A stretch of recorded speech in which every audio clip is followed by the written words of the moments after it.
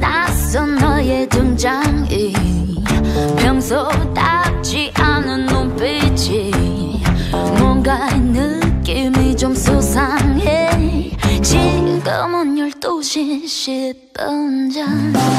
점점 분위기에 취하고 눈빛은 서로를 비추고 흐르는 침묵도 끈적해.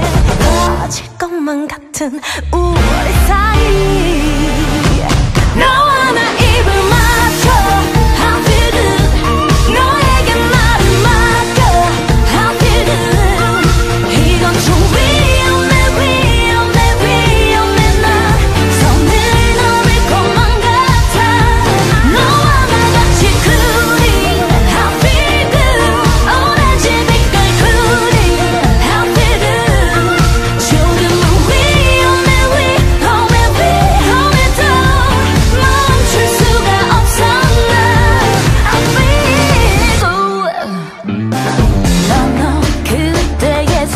예상했었지.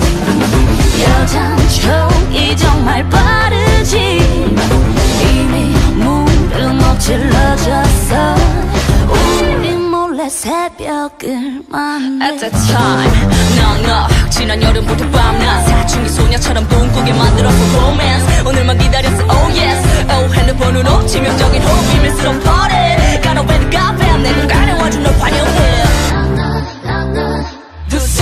머리 위로 감겨 햄 너와